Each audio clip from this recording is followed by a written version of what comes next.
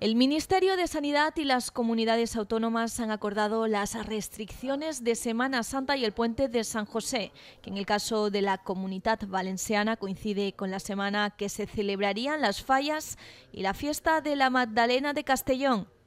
Este acuerdo del Consejo Interterritorial es de mínimos, es decir, que cada autonomía puede incrementar las medidas ya vigentes. En el caso de la comunidad valenciana, estas restricciones ya son mayores y nos esperan grandes cambios de cara a la semana de fallas o el periodo vacacional de Semana Santa, tanto en Alicante como en Valencia y Castellón.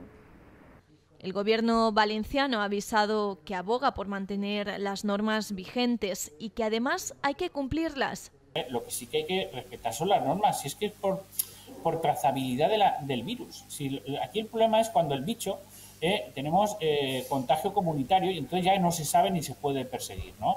Entonces, por eso cuando el ciudadano entienda, esto lo hacemos porque así los rastreadores, cuando hay un brote, automáticamente puedes controlar ese brote. Si no cumplimos con las limitaciones de, reuniones de personas, de personas sentadas en las mesas, de distanciamiento, cuando te quitas la mascarilla, que tu gotita cae en el café del de al lado y entonces ese se lo bebe.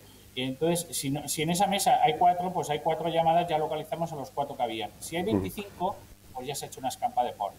Pero desde la Generalitat promueven el turismo dentro del territorio valenciano. Eh, yo mismo ya estoy mirando a ver esos días si me puedo escapar a la comunidad valenciana. Eso está abierto son establecimientos seguros eh, y, por tanto lo que hay que hacer es quien pueda y tenga capacidad económica, porque además muchas familias lo están pasando mal también por los ERTES, los ERES, etcétera, pues quien pueda evidentemente aprovechar a, nuevamente a volcarse en esta comunidad, bien de proximidad dentro de la propia provincia de Alicante o bien de la comunidad, porque entre los principales acuerdos destacan el de cerrar perimetralmente las autonomías entre el 17 y 21 de marzo, en aquellos territorios en los que sea festivo el día 19 de marzo por el puente de San José, y desde el 26 de marzo al 9 de abril por Semana Santa.